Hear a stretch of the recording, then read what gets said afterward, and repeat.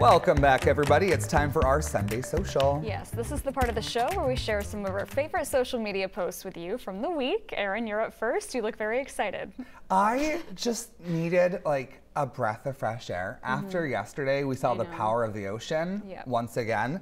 And I thought, let's show the ocean, but in a nice, exciting, kind of happy way. That's a good idea. And uh, National Geographic had this nice little video of a whale, two whales, a mother and her calf, I believe they're called, correct?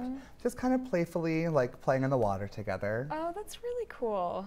Do you know what kind of whale it is? A southern right whale, it says. Yep, that Very one. Very cool. Yeah. very cool. Have you ever been whale watching before? That's a question for I you. have not. I have um, off the coast of Maine when I was a kid, and we saw. Um, I can't. Okay, I can't remember what kind of whale it was, but it might have been a right whale. It was one of like the most, the left one? rarest kinds of whale. no, not a left one.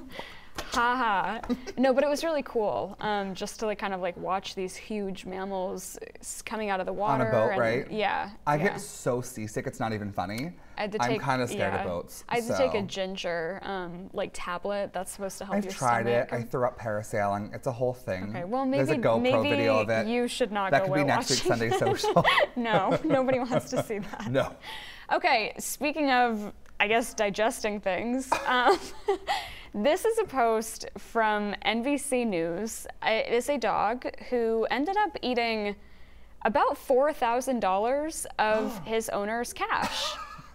And luckily, I think she was able to kind of put a lot of it back together. But I Oh, wanted to share oh. this because I have a personal story. Um, My dog, my sister is a piano player, and she, you know, would do gigs at restaurants, have a tip jar. She left it on the floor one night a couple of years ago, and my dog um, came into the room and ate the money that she earned.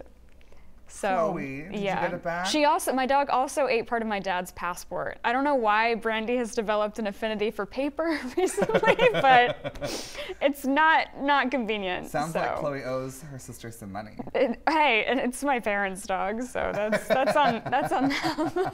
I do think we were, you know, able to recover some of it. So I don't like this one. All well, right. that's going to do it for us. But we want you to share your favorite social media post with us using the hashtag Sunday Social. Maybe we'll include it next week. maybe we will. All right, stick with us for more local news. Check out the weather for the last half hour of the weekend morning report. We'll be right back.